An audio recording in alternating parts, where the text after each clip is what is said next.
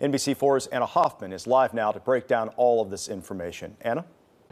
The ADL says reported incidents of anti Semitism have gone up by 140% in the last year. They say a place where these types of incidents are growing is on college campuses, and they specifically listed an incident that happened here at The Ohio State University. According to the Anti Defamation League, reported anti Semitic incidents in Ohio jumped from 61 in 2022 to 237 in 2023. Since October 7th and anti Semitic attacks going up. I spoke with the president and CEO of Jewish Columbus this week. She says since the October 7th attack on Israel, they've taken extra precautions. We've really doubled down on safety and security. We at Jewish Columbus have provided um, um, mental health workers in partnership with Jewish Family Services for those who are experiencing anxiety around um, anti Semitism. The ADL's annual audit details the nature of these incidents. It also shows where the spikes are happening. One place is on college campuses.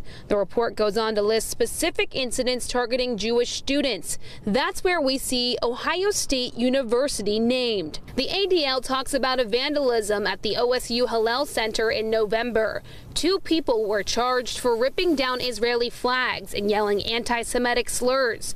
OSU President Ted Carter addressed this along with several other anti Semitic claims made toward the university in the last six months in an interview with NBC4 last week. We'll hold people accountable that, that either break the law or do harassing behaviors.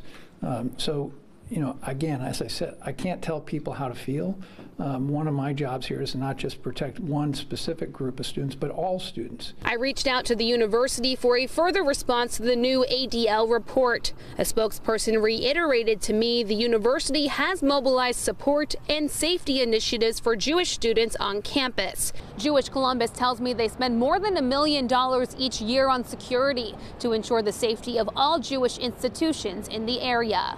Local for you at The Ohio State University, I'm Anna Hoffman, NBC4.